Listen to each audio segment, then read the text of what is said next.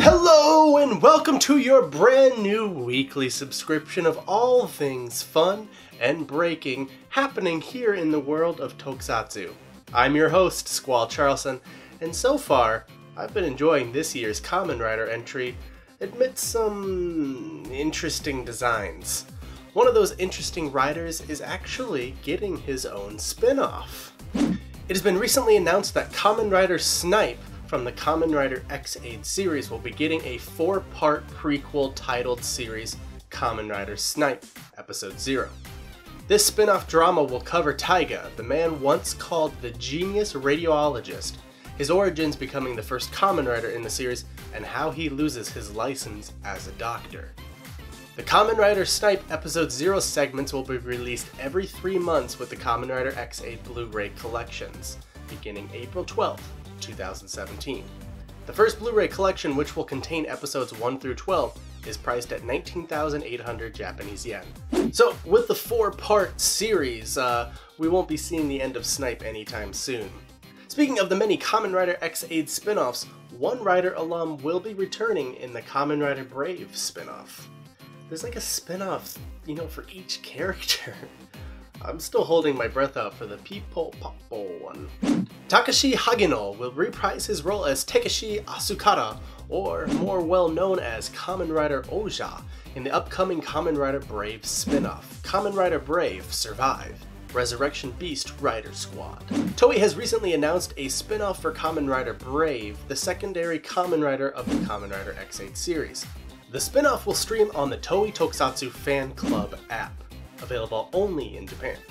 This spin-off will highlight the resurrection of Kamen Rider Ouja, who originally appeared as the antagonist in the 2002-2003 Kamen Rider Ryuki series 15 years ago. Takeshi Asakura gained popularity due to his unrelenting brutality amongst the Heisei Kamen Riders. He wears his familiar snakeskin jacket and his brutal, violent ways still remain.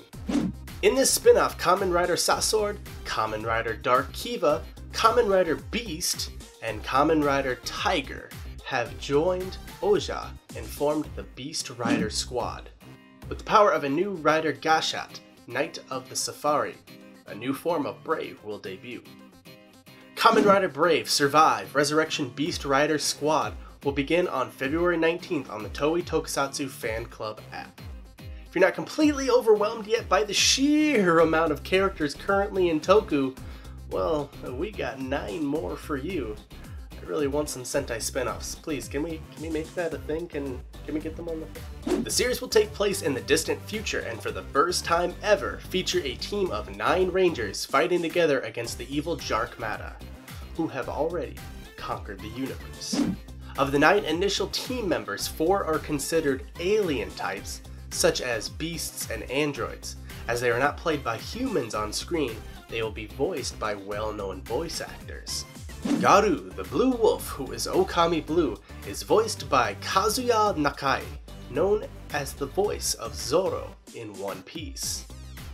Balance, the Technopath Tenbin Gold, is voiced by Yuki Ono, who recently finished portraying Josuke in JoJo's Bizarre Adventure, Diamond is Unbreakable.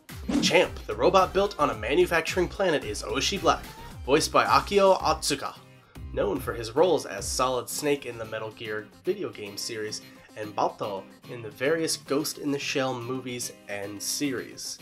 Raptor 283, the android pilot Washi Pink, is played by Mao, otherwise known as Mao Ichimichi, who portrayed Luca Milfior Gokai Yellow in Kaizoku Sentai Gokaiger. The team commander, the mysterious Sho Ronpo, is voiced by Hiroshi Kamiya, who has played Levi in Attack on Titan and Gene Bolt in the Ultraman Zero movie and spin-offs. Uchu Sentai Kyuranger starts February 12th, one week after Zyuohger's 48th and final episode.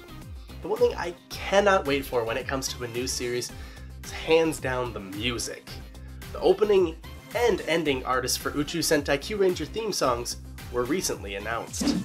The show's opening Lucky Star will be performed by Tomohiro Hatono, Hatanoa, a relative newcomer to the genre, comments, I am honored to be able to debut as the theme song singer for Uchu Sentai Kyuranger, the 41st series in the historic Super Sentai series. Being on stage has always been my dream, and I hope to bring kids and adults together with this song for Kyuranger. Tsuyoshi Matsubara will perform the show's ending theme song, Kyutama Dancing. Ooh, there's a dance. Matsubara was a member of Project DMM who contributed songs to the Ultraman series for various years.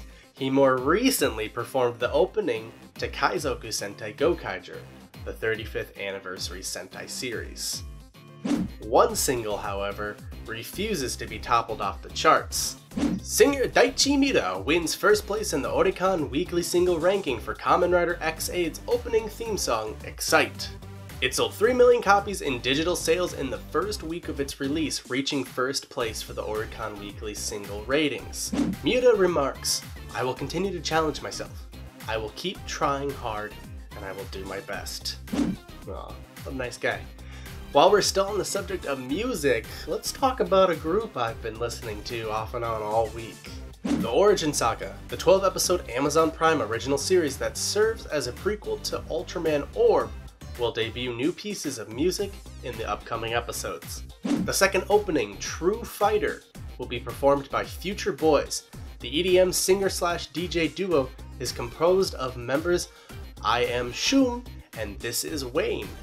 The song is being composed and arranged by Jeff Miyahara, who has produced songs for Boyz II Men and Timbaland. Episode 8 of Ultraman Orb The Origin Saga will air on February 13th. I love the way their names are written. It's almost like you need to yell for the last halves of their names. This is Wayne! if I am Shoom doesn't get you in the yelling mood, this might. Krampus director Michael Dougherty has been tapped to direct Godzilla, King of Monsters.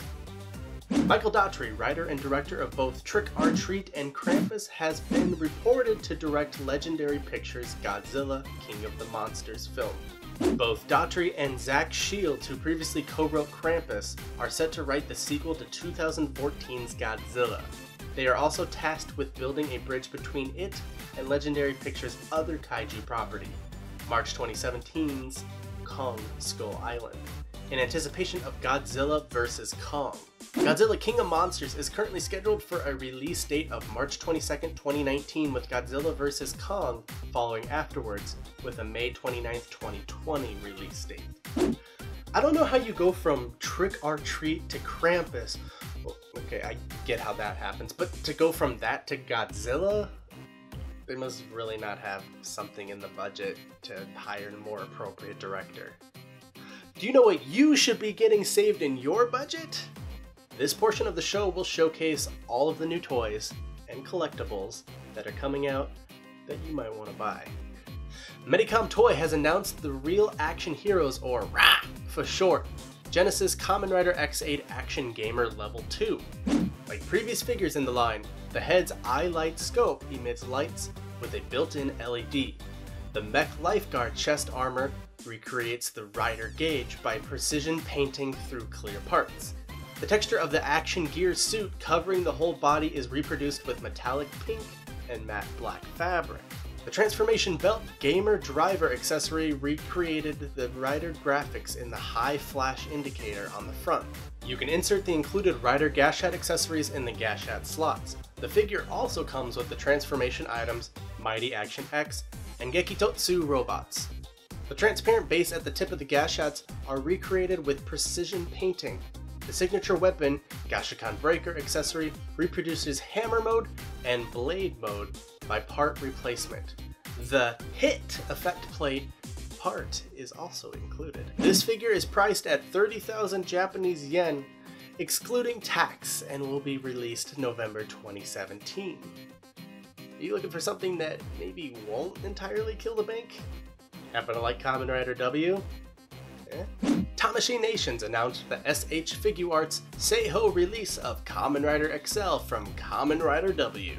The Seiho are a series of high-end SH Figuart releases that feature all new modeling, high levels of detail, and the best skeletal joint system Tamashii Nations has to offer. As the idea suggests, Seiho releases cost a little bit more than your standard SH Figuarts releases. Kamen Rider Accel will release sometime in June 2017 for a currently unknown price. The Kamen Rider Double Joker Cyclone SH Figuarts Seiho releases retailed at around 6,480 Japanese yen to give an idea of how much Kamen Rider Accel may retail for. Also, Premium Bandai recently announced the SH Figuarts release of Kamen Rider Amazon Sigma from the Amazon Prime series Kamen Rider Amazons. Premium Bandai revealed the release of the SH Figuarts Kamen Rider Amazon Sigma. This marks the third SH Figuarts release for the Kamen Rider Amazon series. The other two in the figure line are Kamen Rider Amazon Alpha and Kamen Rider Amazon Omega, the two lead riders of the series. The SH Figuarts Kamen Rider Amazon Sigma is priced at 6,696 Japanese yen and will release July 2017. At the time of this recording, orders are now being taken. If you're really tight on a budget, well, you may be in luck. Shin Godzilla Gashapon sets will be launched in Japan starting in late February March 2017. Each figure will cost 200 yen, there will be four versions of Shin Godzilla second form gashapons to collect. Overcoming, Hook, Hanging, and my favorite, Finger Riding. Shin Godzilla will be released on Blu-ray and DVD in Japan in multiple versions on March 22, 2017. Here at the TokuNet, we love to be tapped into all the news outlets to bring you the biggest stories as promptly as we can. Another thing we're going to try to incorporate is a sort of fan platform for all the interesting and cool things that happen here in the community. I'm talking artwork, events, cosplays, videos. We want to see all of these. We want to highlight the work of the fans to help get you as much exposure as possible. Just be sure that the submissions are clear and something clean enough you could show or tell a seven year old who might be watching. Well, this has been your weekly roundup for all things Toku related for the fourth week of January 2017. For more information on any of the stories in this video, head over to the Tokusatsu Network or, you know, just click on any of the links down below. For more weekly roundup news like this, be sure to like the video and subscribe right here to the Tokusatsu Network. I swear, there's there's a fly in here. I don't... You saw it? Okay. I'm, I'm not going crazy. I saw a fly somewhere in here. I There's one buzzing. It's been driving me crazy for the last half an hour. I just went, ah! No! Got it. No, it's back!